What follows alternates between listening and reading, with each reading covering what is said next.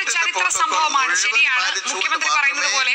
ഒരു ചരിത്ര പ്രധാന സന്ദർഭമാണ് ശരിയാണ് പക്ഷേ നാളെ മറ്റേതെങ്കിലും ഒരു വ്യക്തി അല്ലെങ്കിൽ ഇതുപോലെ എൻ്റെ ജീവിതത്തിലെ ഏറ്റവും പ്രധാനപ്പെട്ട ചടങ്ങാണ് ഞാനൊരു സ്റ്റേഡിയം വാടകയ്ക്ക് എടുത്ത് ഇതുപോലെ ആറായിരം പേർക്ക് ഇരിക്കാവുന്ന ഒരു പന്തലുണ്ടാക്കി അഞ്ഞൂറ് പേരെ വെച്ച് ഒരു പരിപാടി നടത്താൻ എനിക്ക് അവകാശമില്ലേ എന്ന് ചോദിച്ചാൽ നമ്മൾ എന്ത് പറയും